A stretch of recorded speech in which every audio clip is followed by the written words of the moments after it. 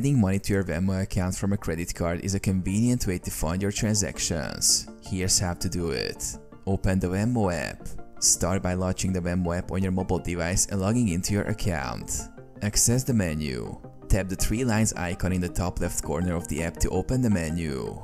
Go to Settings, select Settings, then tap on Payment Methods. Add credit card. Tap on Add bank or card and choose Card. Enter your credit card information, including the card number, expiration date, CVV and billing address. Ensure that the billing address matches the one associated with your card. Verify the card. Venmo may verify your credit card by making a small temporary change. Check your credit card statement for this amount and verify it in the app if prompted.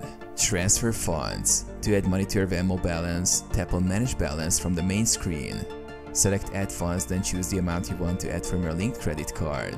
Complete the transfer. Confirm the transaction, and the funds will be added to your Venmo balance.